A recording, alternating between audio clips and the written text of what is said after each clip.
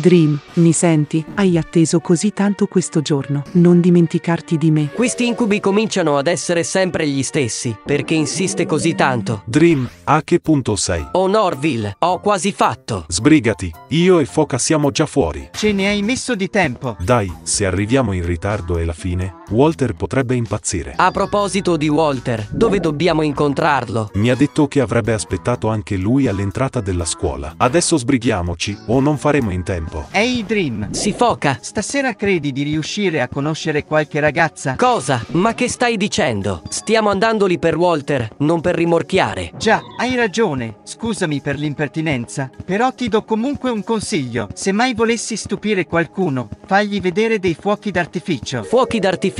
Sì, credo che sarebbe veramente un bel modo per concludere una serata. E poi chissà, forse vedendoli riuscirai anche a sbarazzarti della donna coniglio. Sbarazzarmi della foca. Aspetta, che intendi dire? Stavo solo straparlando Dream. Dimentica tutto. Ok, eccoci arrivati. Ma quanto cazzo ci avete messo? Siamo in ritardo di soli 5 minuti. Sono qui da un quarto d'ora e non c'è traccia di alcuna ragazza. Siete sicuri che fosse questo il luogo d'incontro? Beh, sì, quel giorno hanno detto di vederci di fronte alla scuola, però... Sono finito. Sapevo che non mi sarei dovuto fidare di voi. Calma Walter, potrebbero essere in ritardo anche loro. Oh, certo. Come ho fatto a non pensarlo? Ma chi vogliamo prendere in giro? È finita. Gli parlo io. Ehi Walter. Norville. Oh, ehi, alla fine sei venuta. Sì, scusate il ritardo, ma purtroppo ci sono stati un po' di problemi. Ti sei portata le ceneri della nonna? Oh, no, questa è una delle mie amiche. Oh, wow Norville. Credevo fossi a conoscenza del fatto che le ragazze debbano essere vive per venire al ballo. Non è morta, si è solo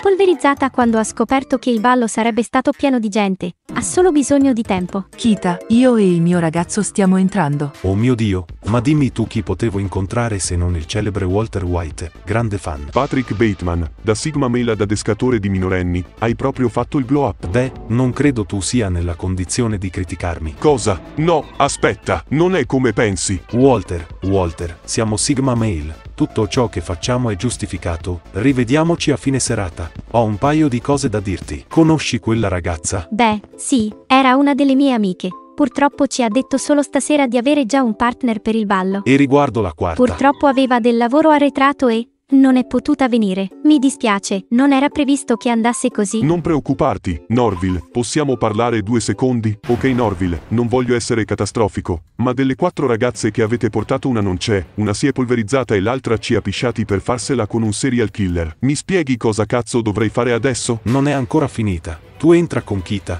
Io e i ragazzi ci arrangeremo in qualche modo. Perfetto, non aspettavo altro. Ragazza, vieni con me. Cosa? Dopo il ballo ti spiegherò tutto, ma è importante che adesso tu vada con lui. Cercheremo di raggiungervi il prima possibile. E va bene, a dopo. Ok ragazzi, ho una buona e una brutta notizia. Di prima la cattiva. Siamo rimasti a corto di ragazze per entrare. Cosa? Oh, ma dai, ci siamo andati così vicini stavolta. Qual è la bella notizia invece? La serata è appena iniziata. Non so come, ma riusciremo a entrare in quel ballo.